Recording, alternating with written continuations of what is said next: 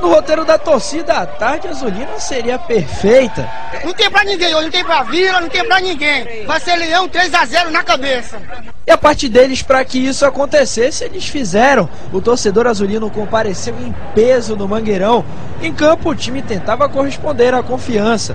Mas desde o início, o Vila Aurora mostrou que as coisas não seriam tão fáceis. E como bom dono da casa, o Remo pressionou e poderia até ter aberto o placar nesse lance de Velber. O Vila também teve chance, mas Marcão chegou atrasado. Enquanto isso, o Leão continuava desperdiçando chances. Lá atrás, Adriano salvou o Remo no chute de Dinei. O Vila Aurora ainda ameaçou com o Daniel. É, o primeiro tempo foi longe do que a torcida estava esperando.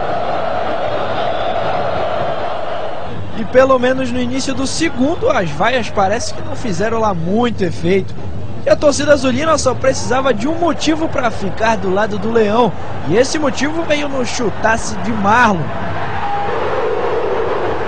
E não demorou muito para a recompensa vir.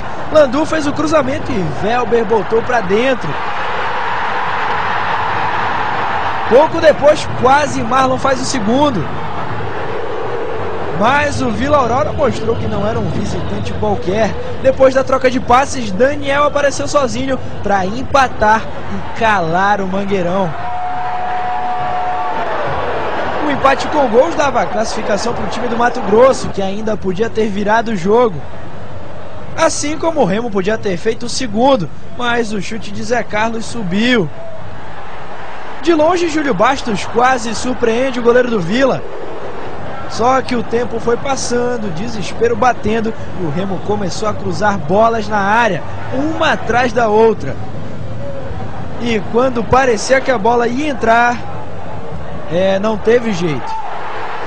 O gol fora de casa fez a diferença para o Vila Aurora e o Remo está eliminado da Série D. O apito final foi o início de mais um ano de sofrimento para os jogadores e principalmente para os torcedores. de roubar o dinheiro. Tá? Acabou. É, os dirigentes do Remo têm que criar vergonha na cara, é só isso. Torcida que foi reconhecida até pelo adversário. É difícil essa torcida aí do Remo aí, é, é, é complicado, né? A torcida ajuda, apoia demais o time. Para Gibo, o Remo saiu da Série D por conta de detalhes.